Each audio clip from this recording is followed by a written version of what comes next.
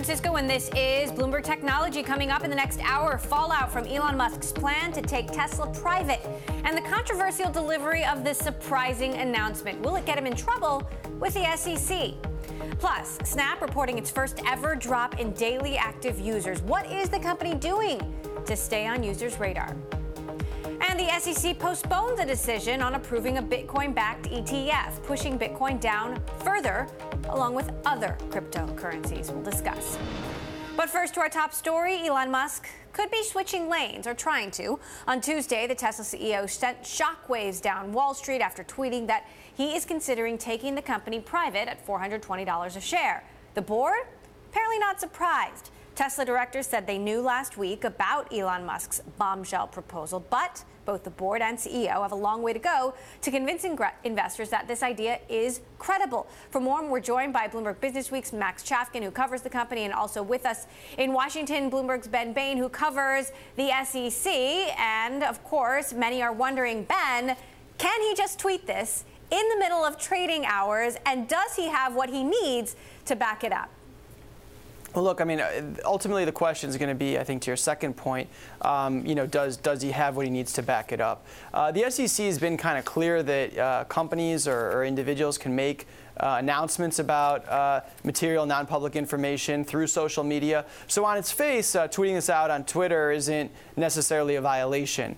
Um, but the issue, as you talk to people, is really going to be about, to the extent that the SEC does decide to look into this, and we don't know that they will or are going to, um, is whether what he said is actually true. Uh, the tweet you pulled up, funding secured. Um, you know that, that that that says you know he's funding secured. And so people are gonna gonna kind of be wondering like, what does that actually uh, you know mean? And does he indeed have uh, you know have what that tweet indicates? He doubled down on it a few hours later uh, on Tuesday, uh, you know, saying that that indeed uh, you know he did have he did have investors. So um, so I guess we're gonna have to see how this plays out. Um, but yeah, I mean it's gonna really come down to um, you know how how sure was what he said uh, at that time and how much did it actually reflect what what the reality was he did double down saying, quote, investor support is confirmed, but we don't have any evidence from our sources or bankers close to the company that that investor support is indeed confirmed. You know, uh, to your point that the SEC has decided that it's okay to disseminate information on social media this way. That dates back actually to a rule um, the SEC made um, back in 2013 uh, in regards to Reed Hastings, the CEO of Netflix, who at the time announced some um, pretty important numbers on Facebook. The SEC decided that that was okay. But to this point of funding, Max, what do we know about who? Could be supporting it, this, and if indeed they are. So the universe of possible funders is pretty small. Um, we're talking about uh, sort of sovereign wealth funds, and, and of course the um, you know the Saudis. It, the reports came out just before these tweets started that uh, the Saudi Public Investment Fund had up to five percent in, in, Tesla. So you could imagine um, a big sovereign wealth fund a big tech uh, sort of venture investor like SoftBank or a big tech company like an Apple or a Google. Um, in terms of like a traditional, normally this kind of deal will be like a leveraged buyout, but companies that are normally you know targets for leveraged buyouts have, have profits, and, and that's not something that Tesla has. So it would be more like trying to turn Tesla into something like Uber, uh, a you know basically a high potential private company with a very high valuation. Meantime, this is a, company. I have this chart in my GTV library showing Tesla's um, free cash flow. This is a company that has never made money and has been burning billions and billions of dollars worth of cash um, every year, essentially. Ben, what are your sources on the regulatory side saying about what happens next? What are they going to look into? So look, I mean, this is you know, and this is maybe kind of to the point of why. Uh, CEOs and corporate executives don't usually announce this kind of stuff on Twitter. Um, this is like a long, deliberative process. Uh, so even if this were to move forward, we're talking months here of, of back and forth where probably the board would have to form some kind of special committee to actually look at this. Um, there's going to be lots of lawyers. There's going to be lots of back and forth. And don't forget, investors, uh, you know, who feel that this isn't the right deal could also take legal action. So what we're basically hearing right now is that we have to see how this is actually, you know, gonna play out. Um, the tack that, that that Elon Musk ultimately takes here will go a long way in also determining how he's going to be have to deal with uh, Delaware state law too, because don't forget Tesla is uh, you know is a company that's registered in Delaware. So um, so really you know we're we're kind of uh, trying to to get a sense here of of where this goes, and and the funding question I think is really central to all of that. He says he has funding. Where is the funding going to come from, and what does that deal ultimately look like? Max, you know, what do you make of a potential SoftBank Tesla tie-up? I mean, I think it, you know it, it makes a certain sense. I, my my read, you know, in terms of close reading what Musk has said, sort of publicly, what's on Twitter, is that he's hoping to kind of cobble this together from perhaps multiple sources. He's, he said that he hopes that existing shareholders, so, so probably think, having in mind the big institutional shareholders, uh, Vanguard, Fidelity, they will sort of maintain their stakes. They're also investors in, in private companies, so maybe that makes some sense. And then you buy out whoever's left with money from SoftBank and maybe one or two other investors. Uh, just some more details on this story. Apparently, Elon Musk and uh, Masayoshi Son so- talked last year in April of 2017 about the possibility of um, going private. Obviously, they didn't come to an agreement then, so who knows what kind of agreement they may or may not have now. Max, what are next steps on the Tesla side? I mean, the chain of events is intriguing given that Musk tweeted this. Then we saw the blog post and the email to employees. Then we, we heard uh, from the board about their support that they'd been talking about this uh, over the last week. Um, but what does Tesla need to prove here? Yeah, it's it's a it's a crazy story. I mean, when you look at um, the Dell buyout. That thing played out over months. As, as Ben said, there were committees, there were lawyers, there were bankers, and all of this seems to have happened, you know, sort of like the best case scenario um, in terms of them planning ahead was a week. So you got to think there's just so much to be figured out. And all this is going to be playing out in an environment where Tesla is very polarizing. You still have these short sellers, you know, they're, they're probably feeling quite a bit of pain now, but they're still out there, still plenty of skeptics, and you have you know this enormous uh, right now anyway distraction that that as the company's trying to you know make as many cars as possible, they're going to be locked in this you know crazy you know buyout drama. Even even these buyouts when they're managed well lead to litigation, you know sniping, all these things, and when it happens in this kind of nutty way, uh, it's it you know you just imagine it could be even worse. Right. I should add that our sources are telling us there are no active talks between SoftBank and Tesla now, as far as our sources know. But at the time, Musk had proposed a structure that would give him a disproportionate amount of control over the company, though he did say um, in that follow up blog post that this was not about control. He has enough control. Um, lots to continue to hash out here. Bloomberg Business Week's Max Chafkin and Bloomberg's Ben Bain in Washington. Thank you both. Well, Salesforce is the latest tech company to embrace the idea of having two chief executives. The San Francisco based software maker has promoted Keith Block to run the company alongside co founder Marc Benioff. Block started with Salesforce in 2013 and became chief operating officer in 2016. He also serves as vice chairman. He will also remain a director. Coming up, Snap's second quarter revenue was solid, but its daily active users are on the decline. Are Snap's best days behind it? We'll discuss next. And if you like Bloomberg News, check us out on the radio, listen on the Bloomberg app, Bloomberg.com, and in the U.S. on SiriusXM. This is Bloomberg.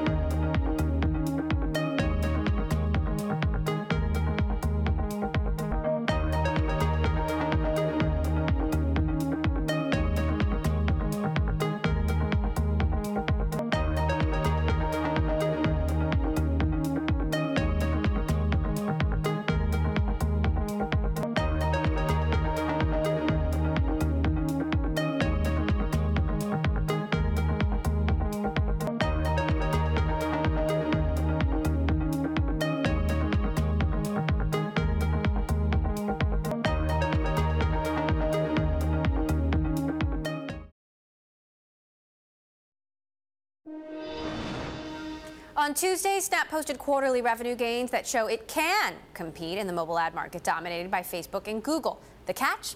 Snap also reported its first ever decline in daily active users. That worries analysts who were looking for rapid growth. Yet Snap did win the endorsement of a key investor, Saudi billionaire Prince Al Walid bin Talal, who's taken a $250 million stake. Has Snap hit its peak, or is this just a bump in the road? For more, we are joined by Peter Stabler, senior analyst at Wells Fargo Securities. He's got a market perform rating on the stock, and also with us in New York, Techonomy CEO and our Bloomberg contributing editor, David Kirkpatrick. Um, Peter, how alarming is this sequential decline in users? Well, it's not a great surprise. I mean, they've warned us that the changes they made to the app last year had caused some disruption. And so it's not a great surprise that we saw a little bit of softness. I think the question from here that investors are asking is, can they return to growth and over what time period? They've also been struggling with the, with the Android platform.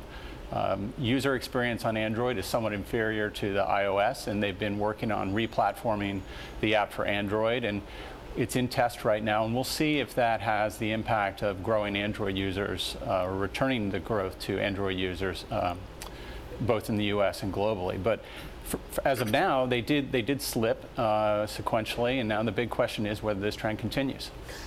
Right, and David, you know, this isn't something that we saw at Facebook in the early days, or even Twitter. I mean, do you think Snap's best days could be behind it, given we're seeing a sequential decline fairly early in its life cycle? Well, they have a problem that Facebook never really had, and to some extent, Facebook tried to give to Twitter but never successfully gave them, which was they have a head to head competitor copying their every move, and that's Instagram.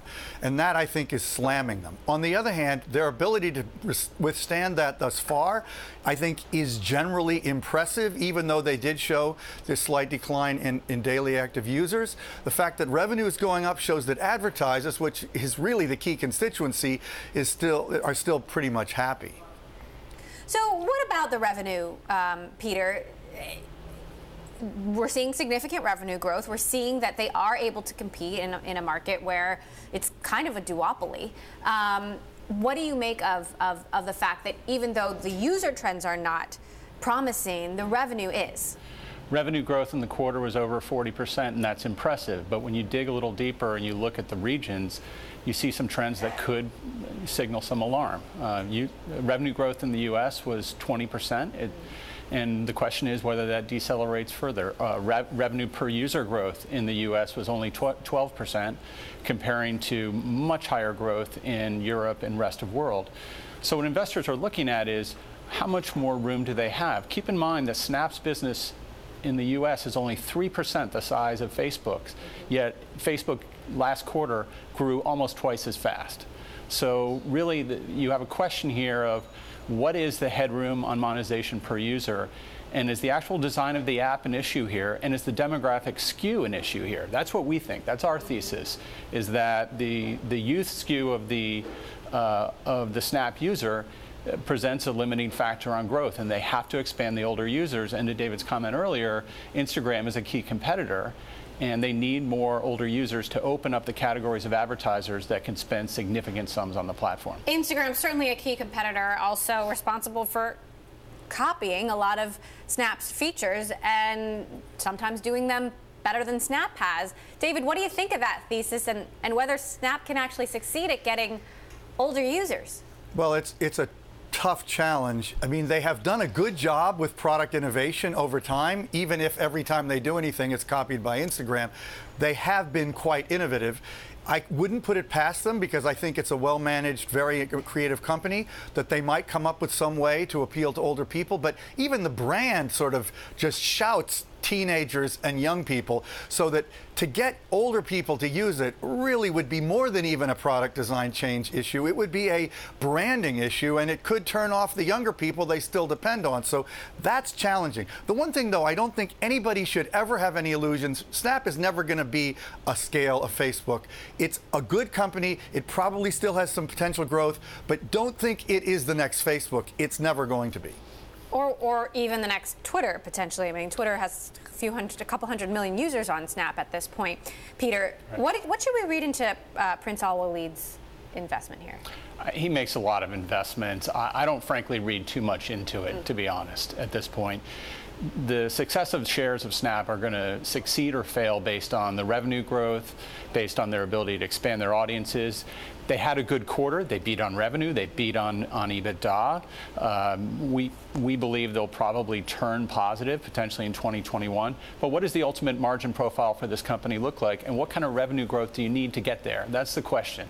And what does the revenue growth in the U.S. look like a year from now, two years from now? Keep in mind, Facebook, so much larger, growing twice as fast in the U.S. Twitter, twice the size of Snap, growing a bit faster.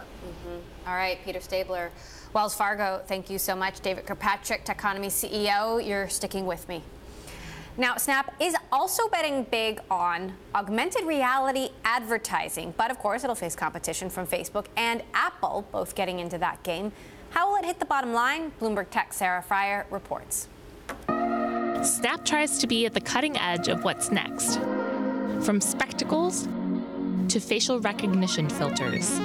And now they are betting big on augmented reality advertisements. Pizza! Let's go, eh? The company even opened up an online studio to make it easier for brands to build ads that can be overlaid on people's pictures and videos.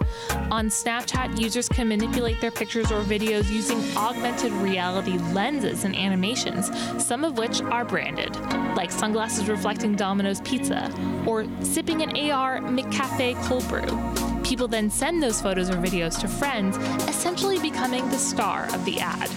The company's second quarter earnings topped analyst projections, climbing 44% from a year earlier to $262.3 million.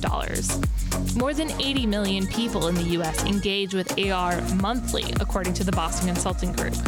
And AR use is projected to hit 120 million monthly users by 2021.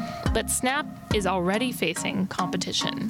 Facebook, which has copied Snap before, announced in July that it is also getting into the AR ad space. And they're not alone.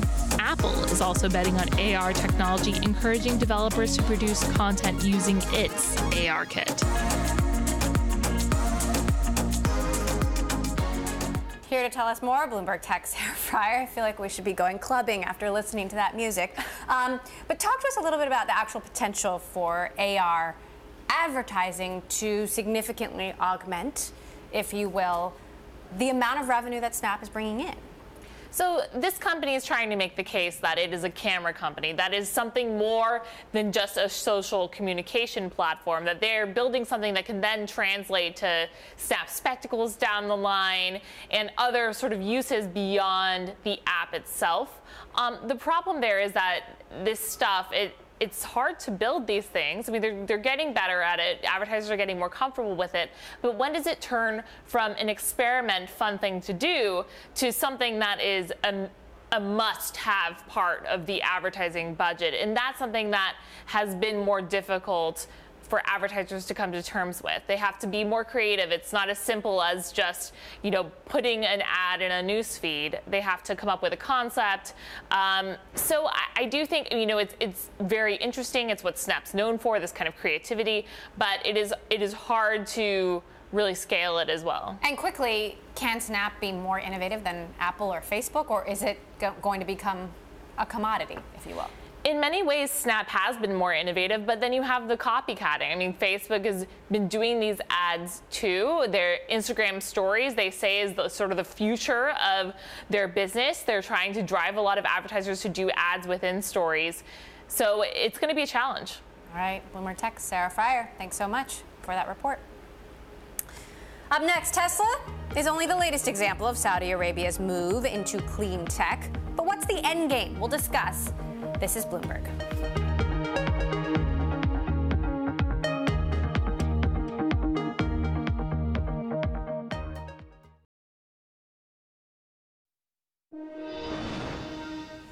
As we've been discussing, Saudi Sovereign Wealth Fund just acquired a significant stake in Tesla ahead of Elon Musk's announcement that he is considering taking the company private.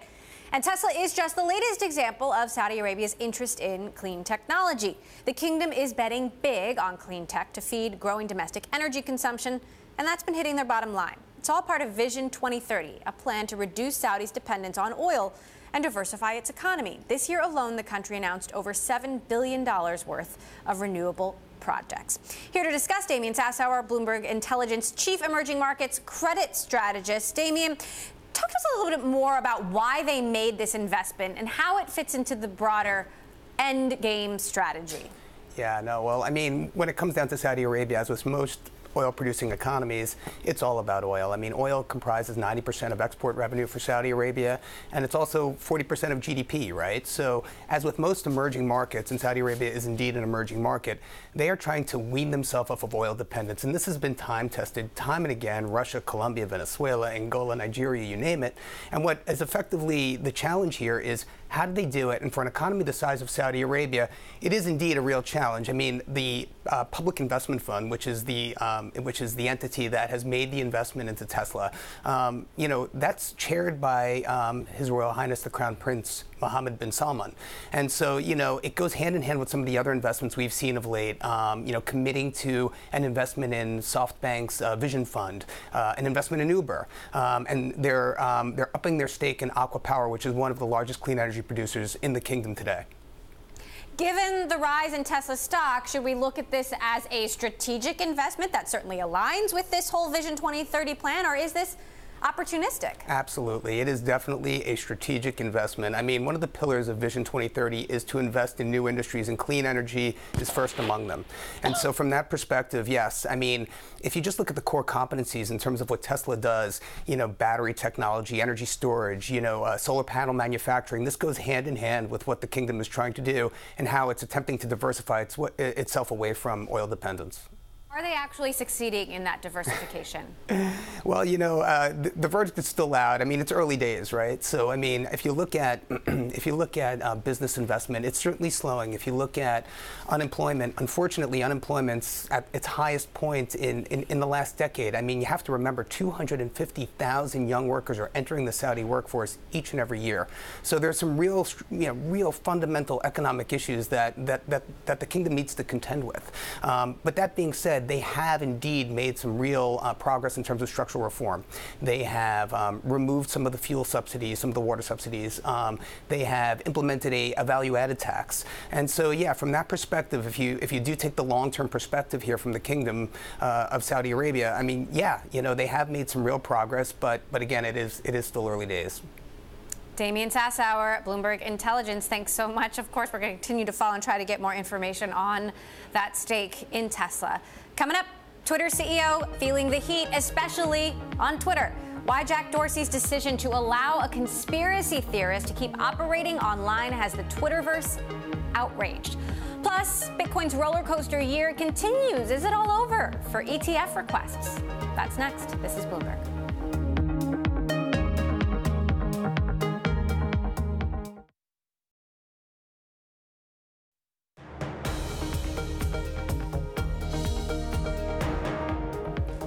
This is Bloomberg Technology. I'm Emily Chang in San Francisco. Twitter CEO Jack Dorsey is being reamed for his defense of Twitter refusing to take down the accounts of the infamous conspiracy theorist Alex Jones and his show InfoWars. He laid out his reasoning in a series of tweets. We know that's hard for many, but the reason is simple. He hasn't violated our rules. We'll enforce if he does. Dorsey continued to defend the decision by tweeting, If we succumb and simply react to outside pressure rather than straightforward principles, we enforce and evolve impartially regardless of political viewpoints. We become a service that's constructed by our political views, our personal views, excuse me, that can swing in any direction. That's not us. This comes after Jones and InfoWars were banned from Facebook and YouTube. Apple and Spotify also removed Jones's podcast from their networks. With us still in New York, we have Techonomy CEO David Kirkpatrick and in studio, Bloomberg Tech's editor Alistair Barr. So, David, is Jack right or wrong here? Well, I respect him for what he's saying because he's at least trying to come up with some sort of consistency. But I know there are plenty of people who've been criticizing Twitter in the last day for focusing more on being consistent in that way when it's a very big public person like uh, Alex Jones and not being as consistent when it comes to the myriad in, infractions of their rules that happen every day, some of which they take down and some of which they don't. But, you know, we're really at a weird point in the history of these platforms, which is that, you know, they've become such a miasma of conflicting behaviors and, and uh, an absolute lack of governmental oversight and, and regulation and law. And, and they're all sort of struggling with the question of are we media or are we not? And Twitter is at, is at least Jack's position is Twitter is not media. Twitter is a neutral platform. Therefore, it is not our role to determine what people say or don't say as long as they're not, you know, actively harassing someone or something like that. I respect that. That said, he moves the ball forward by shifting the work to journalists, though he's saying he's not trying to do that. He says accounts like Jones can often sensationalize issues and spread unsubstantiated rumors. So it's critical that journalists document, validate, and refute such information directly so people can form their own opinions. This is what serves the public conversation best. We don't mean to shift the work here. We must build tools to help and need to work together to do that. We can't be a useful service without the integrity journalists bring. Meantime, journalists have responded to this. You've got the LA Times journalist Matt Pearce saying, I'm not getting paid to clean up your website for you. Alistair, are we getting paid to clean up Twitter for Jack Dorsey? I think we're, we're getting paid to uh, clean up and keep public discourse factual. That, that's, I hope, what we come in every morning to do. Uh, I, th- I, think one of the, one of the classic um, arguments that, that, that not, not just Twitter makes is if there's something that's out there that's wrong on the internet, other people have to get out there and say what's right and make it clear so that they can use that content to refute what was wrong before. That, that, those tech, tech companies always say that type of thing. And I think that has some validity. And I think Jack is also trying to avoid falling into a trap which Twitter's fallen into a lot with, with conservative um, commentators on, on Twitter over the last year or so. They basically say, oh, you're, you're limiting our free speech, it's a, it's, a, it's a First Amendment issue, and you, you shouldn't be allowed to do that with this decision so far, he's taking the opposite tack, which is, you know, carry on, carry on. And he's basically saying, maybe not just journalists, but he's saying, you know, everyone else on Twitter, if you feel strongly about it, get on Twitter and refute what he's saying. That said, Twitter has made many mistakes over the years, not making it clear what the rules actually are, then being capricious about how they enforce them. And there's certainly an argument to be made that if Alex Jones doesn't violate the rules, that maybe the rules, maybe there's a problem with the rules. Um, Emily Horn, who's the former head of communications at Twitter, actually hit back at Jack saying, I think it's the wrong call. Jones's behavior isn't a one off. Twitter started examining offline behavior as a factor in verification last fall. If your policy doesn't account for Jones like activity on or offline, then the policy isn't serving a healthy conversation. She adds, designing scalable policy on this is incredibly hard. No company will always get it right, but this is an opportunity to take a stand and commit to making and enforcing hard choices in service of promoting healthy conversation. I hope you revisit this decision. David, what do you make of her argument? I just think it's so weird that we're in this position where these for profit companies are basically in the position of policing the public square. Uh, they were never really set up to have the capability to do that. They do, in the case of Twitter and Facebook, have their terms of service and all that. And, you know, Jack thinks he's doing as good a job as he can do. But it's true that all of these companies swing back and forth like a pendulum or twist themselves like a pretzel or whatever metaphor you want to use and do not show consistency because they're being confronted every day by new kinds of situations which they never really anticipated. And particularly in Twitter's case, they're not profitable enough like Facebook is to basically throw any kind of money at any problem they might encounter.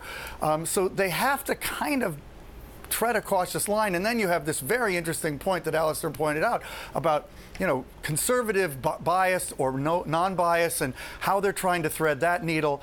I mean, I, I, feel for these companies, but I feel for Twitter more than I feel for Facebook because I actually think Facebook has handled it much more poorly than Twitter in reality.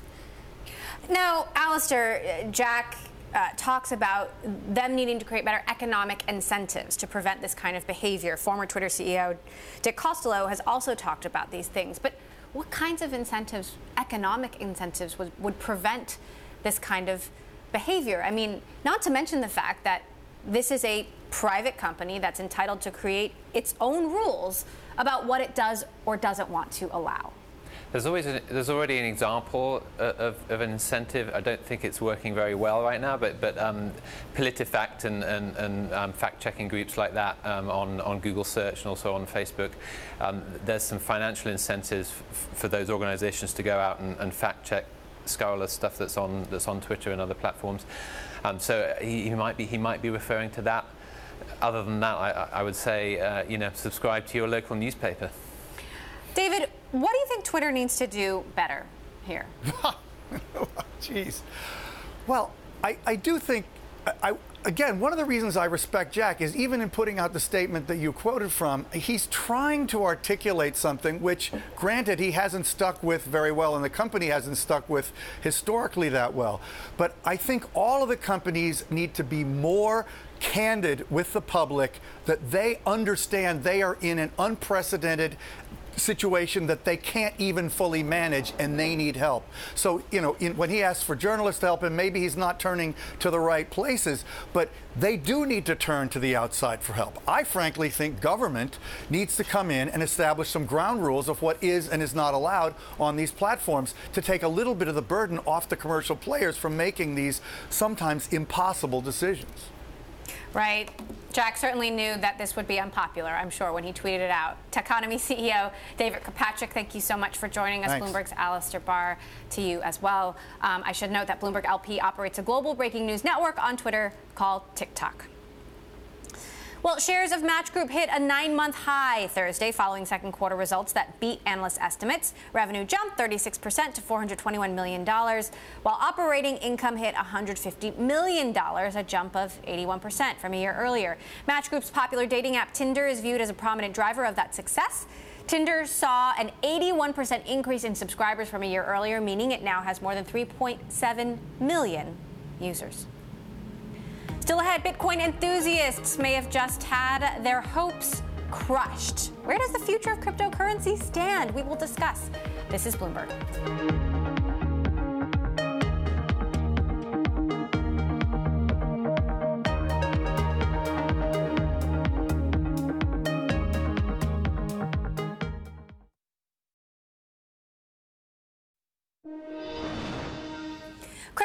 Took a hard hit Wednesday after the SEC postponed its decision on a proposed Bitcoin exchange traded fund.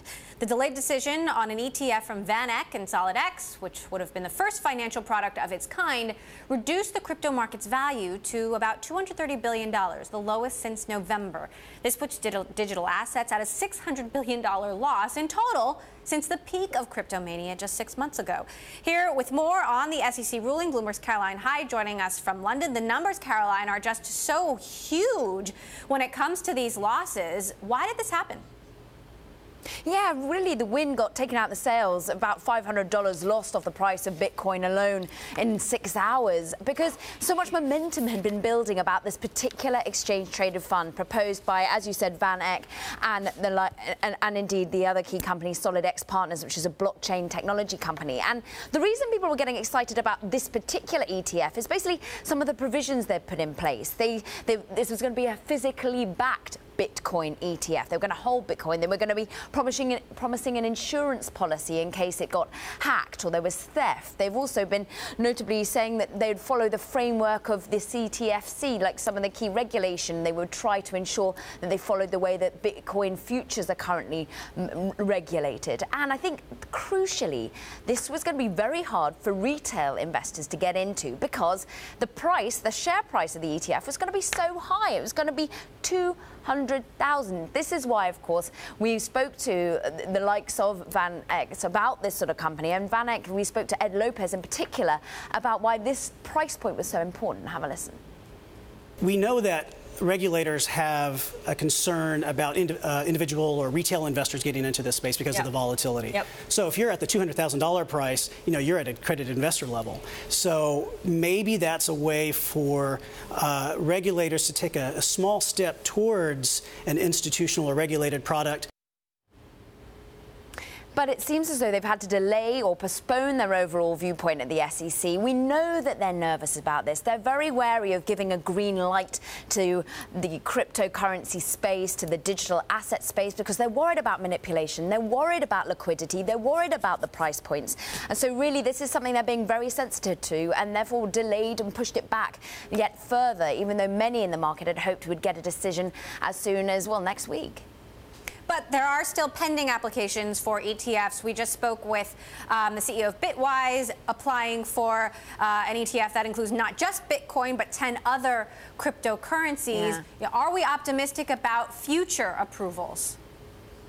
I think the market still is hoping. They're hoping that the market can institutionalize to a certain extent. And this is why so many companies are putting in these proposals for exchange traded funds. You mentioned Bitwise, but there's also the Canadian company Evolve Funds is getting in there. ProShares is offering up proposals. In fact, we shouldn't be surprised the SEC has just delayed this one on the likes of VanEck and SolidX because they just recently delayed five ETF proposals coming from a company called Direxion Asset Management. So there's plenty out there, and and momentum has been building, I think, in the SEC level in itself because one of the commissioners has actually started to vote against these decisions to push back on ETFs. Remember, just earlier in July, we had from the Winklevoss twins who run the Gemini exchange, they had their ETF pushed back. But actually, it was a three to one ruling. One of the SEC commissioners sees no reason why you should be voting against these sorts of products. So I think uh, there will at some point be the institutional comfort there that these can, it will be a more liquid way of being able to trade this. And, and, notably, that's why we're getting such momentum built into the share price when these sorts of decisions get close. Because think of what happened to gold. When gold got an exchange traded fund backed by, we saw gold like quintuple in terms of its price point. When, when you start to see a market built upon exchange traded funds built upon underlying assets, it makes it so much easier to get into the space. You don't have to set up a Bitcoin wallet, you don't have to choose an exchange. Suddenly, you can get into the asset class, and it really would drive price momentum. And as you can see, I mean, look, look, at GTV chart when you see how much we've seen a crushing in the share price, in the in the prices of overall digital currencies. I mean, we're down by more than 50% when you look at Bitcoin. We have seen some hope that white line towards the end, just recently in July and in August, we had seen a little bit of stabilization about the $8,000 mark because there'd been hope that we would see an ETF built on Bitcoin. So there's still momentum there, I think, going forward quickly, Caroline, has there been any good news for cryptos lately? Well, interestingly, actually, this is where the SEC needs support. They want to see more institutionalization of this of this asset class, and maybe we got some good news in that respect today because it's being reported by Bloomberg that Goldman Sachs is looking at offering a custodian function, basically being able to to keep your assets safe. This is crucial for institution investors to get in because they don't always want to keep their cryptos in cold storage by taking it offline. They want to be able to ensure that there's a safe way to manage their assets. So overall, Goldman is looking at maybe providing that. And I think this is why you shouldn't knock back the SEC eventually ruling on an ETF. It might not be in 2018, but eventually it will come because we will see more liquidity in this space. You will see custody provision, and we will get bigger players being able to get involved. Bloomberg's Caroline Hyde in London, giving us both sides. Thanks so much, Caroline.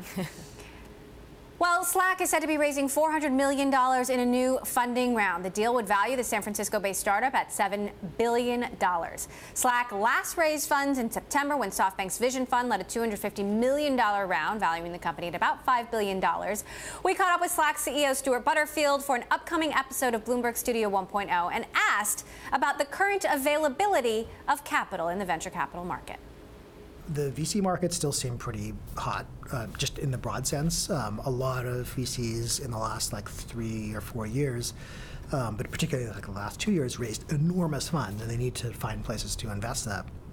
Um, but certainly right now, the public markets um, for companies like us, like uh, enterprise software as a service or SaaS businesses, um, is as hot as it has ever been. Coming up, insurance startup Lemonade has gotten a lot of attention this year after a high profile investment from SoftBank as well. Now, it is getting serious about luring millennials to the renter's insurance market. We're going to speak with CEO Dan Schreiber next. This is Bloomberg.